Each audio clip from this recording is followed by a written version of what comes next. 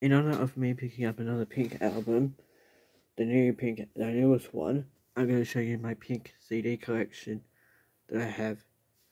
So the first one we got is Pink Can't Take Me Home, 2000 CD. It's the front, this the side, and the back. This has this has song. This has 13 tracks, and it's from 2000. And there's the CD itself, and it comes with a booklet. I'll show you the artwork inside the CD. Two. Next CD, I have Pink Misunderstood. Here's the front, the side, and here's the back. This is a promotional use only soundtrack. Includes the song Get the Party Started, and this is from 2001.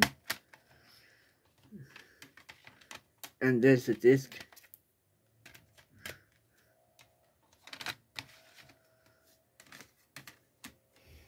Next, next CD, next CD I have after that one is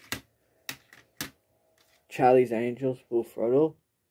Pink song is Feel Feel Good Time, and this is from 2003. and um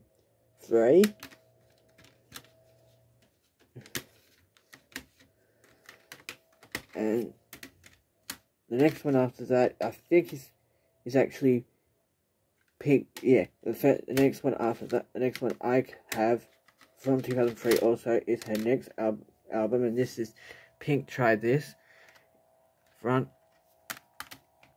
Yeah.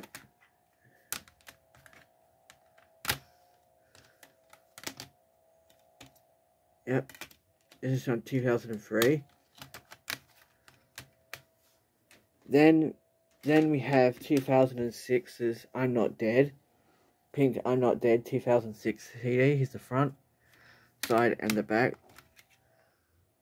This is from 2006.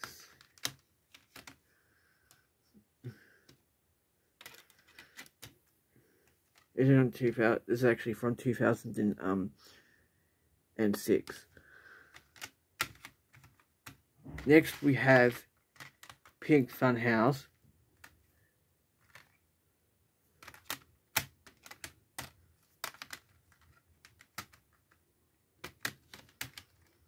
Which is pretty cool. Pink Fun House is from 2000 and uh, 2008.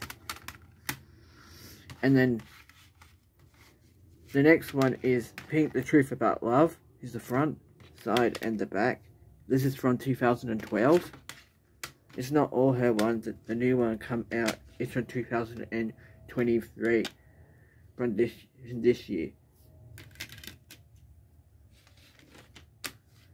And then in between that will be the next one, which will be the 2023 pink. That is my pink CD collection so far. I'll show you the new 2023 album when I pick it up today. When I get home, I'll show you my 2023 album I picked up today of Pink. So that's that's it. I gotta go and peace out later.